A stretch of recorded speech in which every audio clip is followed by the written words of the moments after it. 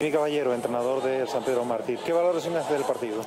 Pues nada, hubo dos partes muy, muy completas, o sea, muy diferenciadas del partido. El primer tiempo ellos nos ayuchaban, tenían intentado tener posesión de balones, eh, nosotros estábamos perdidos, en muchos momentos estuvimos con, en contracorriente los jugadores perdidos, los jugadores importantes, no teníamos posiciones de balones y bueno, hice tres cambios en el descanso para intentar mejorar el primer gol de ellos viene en un rechace del delantero que se le queda, vamos, muerto y, concluye con el, gol, el primer gol de ellos. Hago tres cambios en el descanso para mejorar. Y lo más triste es que en el primer minuto un gol en propia puerta rompe todo el trabajo y todo lo, lo que teníamos nosotros previsto al segundo tiempo.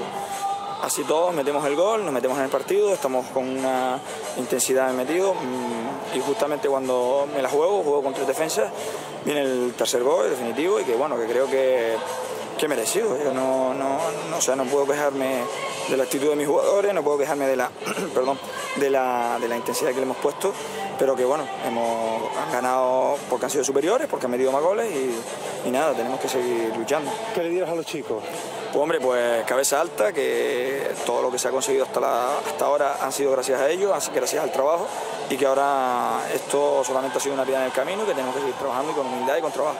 Muchas gracias.